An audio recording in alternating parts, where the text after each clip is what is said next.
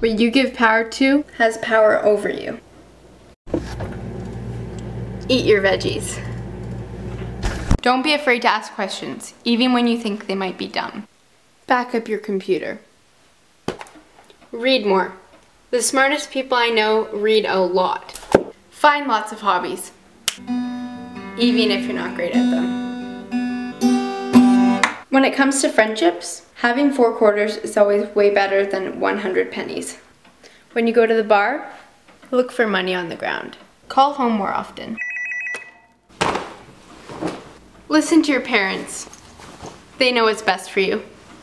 Wear sunscreen because skin damage is real.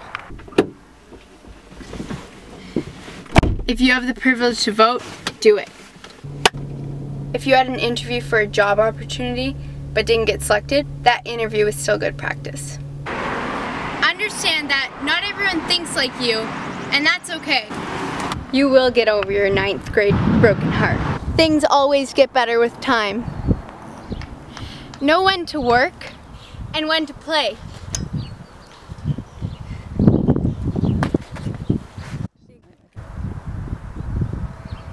Work out for your body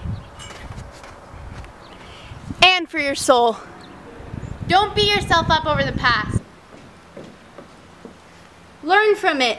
Accept the things that you can't change, but change the things that you can. Enjoy your life. You'll never be as young as you are in this very moment.